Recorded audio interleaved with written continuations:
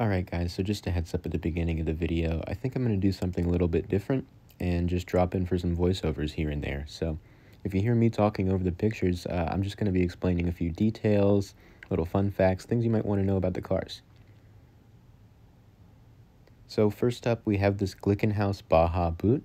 Only two were ever made. This is one of the prototypes.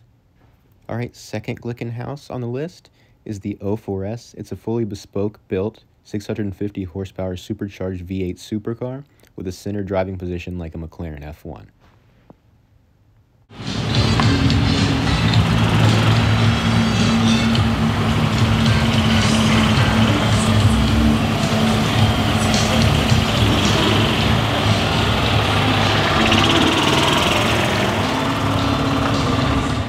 Alright, so this is the Trabant. It has a reputation as being an all-around horrible car, and it was built in East Germany under communist control.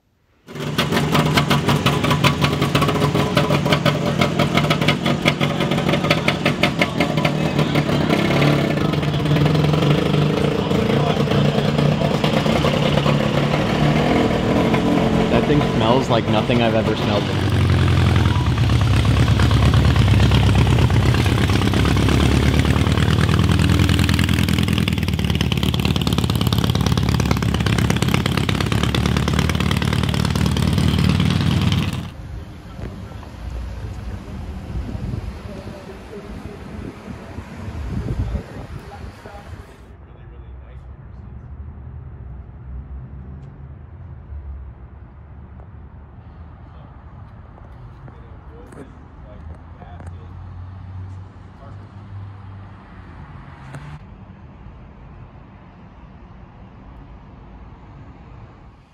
Surprisingly, this was the only Koenigsegg of the weekend. It's a beautiful red carbon Regera with a matching red quilted leather interior, and sitting next to it is an orange McLaren P1 with very few exposed carbon options, which I thought was beautiful.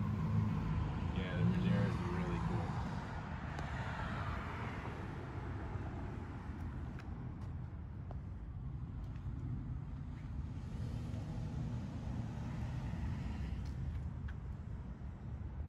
And of course, you have your casual Speedtail in the back, and just check out those carbon wheels on the Regera.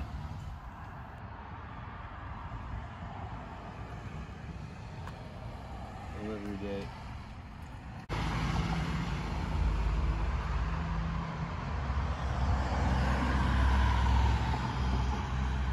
They're a little hard to make out, but through this window are a Porsche Carrera GT and a Bugatti Veyron. That's one, two, No, there's, one, there's another one there. There's a black one, a silver one, a red one. three LaFerraris, and an F1 car. One LaFerrari, two LaFerrari, three LaFerrari.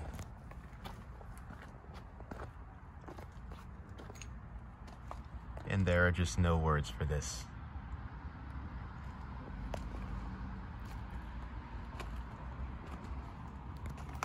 I don't know what is happening right now or how I got here. But, um. Just when I thought it was over, that is six LaFerraris in one day. I'm pretty sure that's a Veyron Vitesse. Oh my god, there's a 177 in there.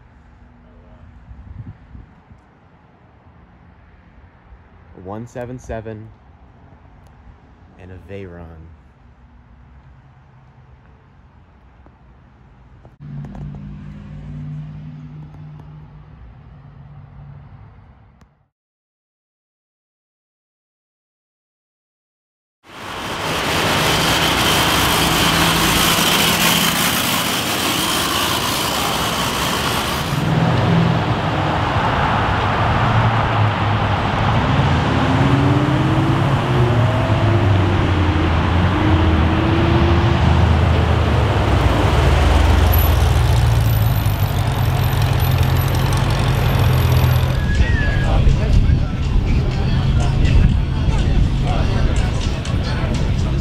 All right, in this beautiful British racing green on the end is the Aston Martin Valkyrie AMR Pro.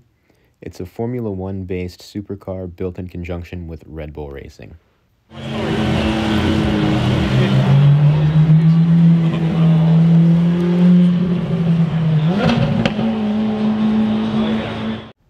This is the Polestar 1 all electric coupe by Volvo. There are only 150 units ever to be made, and it is stock with 619 horsepower.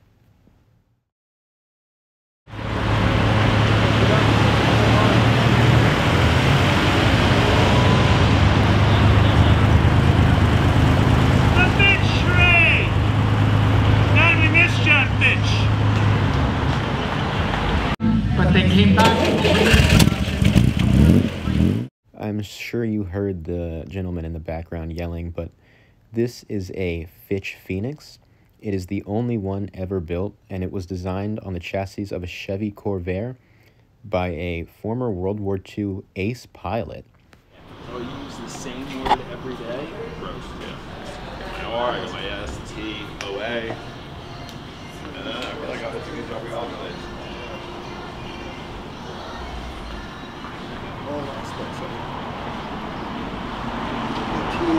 Now this this is just something else. It is believed to be an all original Ferrari Testarossa.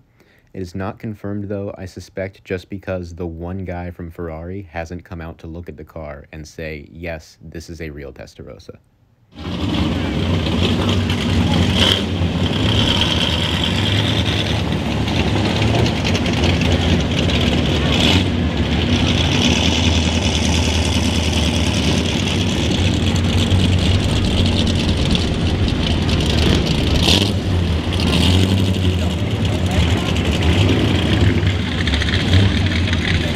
What you're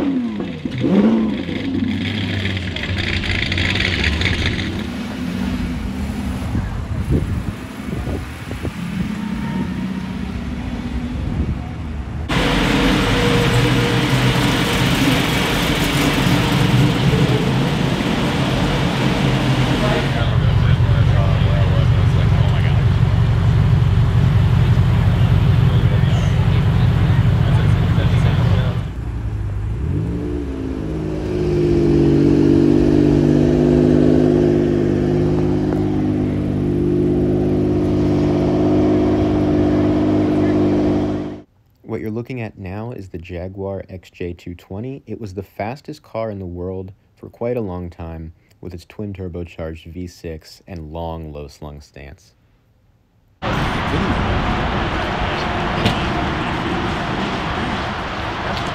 When I saw this car, I freaked out because it wasn't in the show, and I thought that this guy was genuinely driving a Bugatti Type 35 on the street. But then I realized it's left hand drive, and I'm pretty sure they only ever built those in a right hand drive setup. This is the Cunningham C3, bodied by Vignale. It's one of about 25 to ever exist, and it's powered by a Chrysler Hemi. Are we ready? I think that's a little bit more.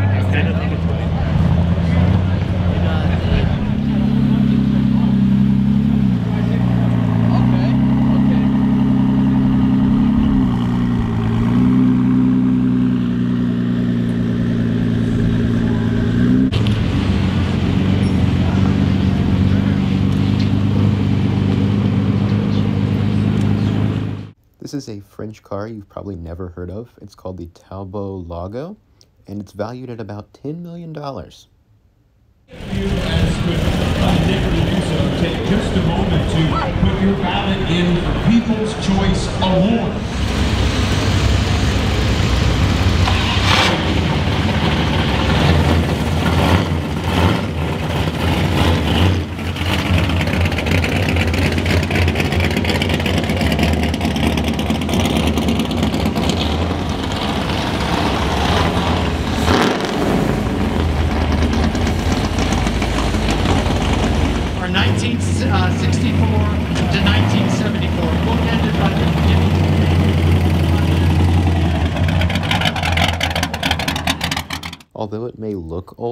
This hot rod was actually built pretty recently in rural New York, all using old parts but built today.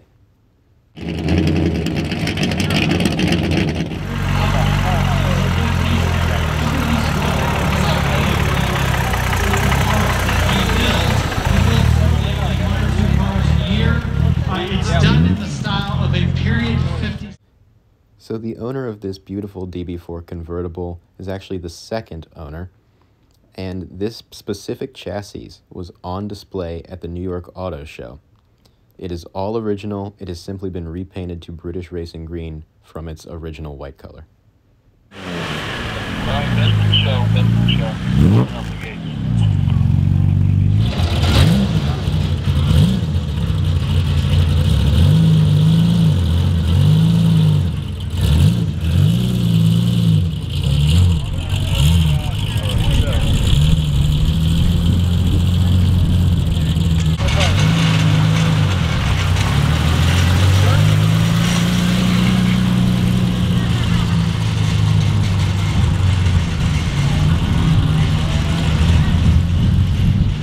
Red Bull Advanced Technologies, and if you follow Formula One, essentially, Bill, one of the greatest designers and engineers of our era is Mr. Adrian Newey. Single-handedly, uh,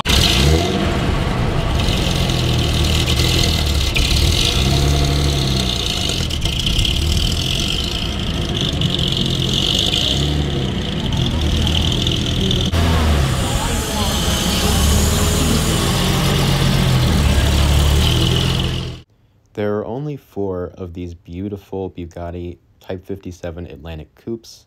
Another one is owned by Ralph Lauren, and this one is valued to be upwards of $100 million.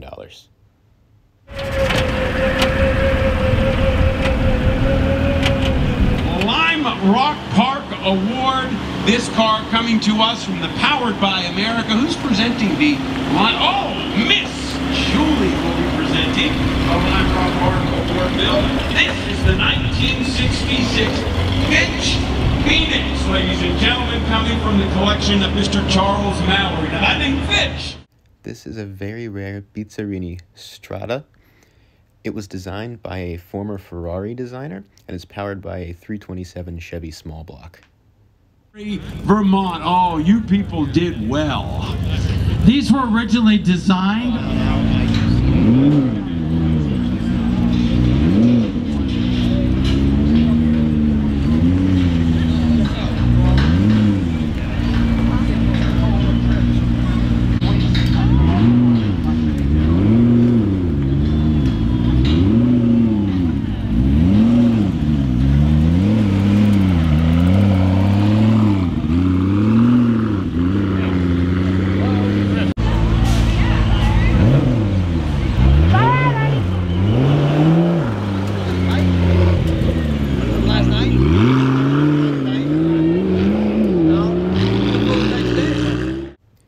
is the one-off Best of Show winning Packard Victoria.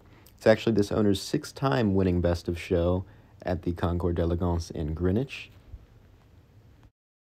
Everybody recognizes the iconic Shelby AC Cobra, but this one is particularly special because it is all original. It's not a kit car.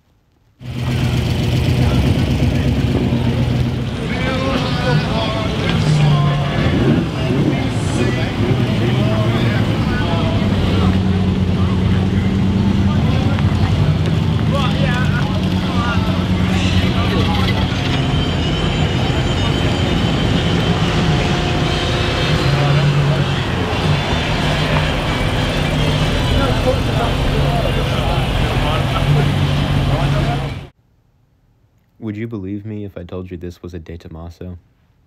This is the Bentley 4.5 liter. It's an old Le Mans racer, and when it was released, it cost about 1,300 euros. Keep in mind at that time, a house was about 200 euros.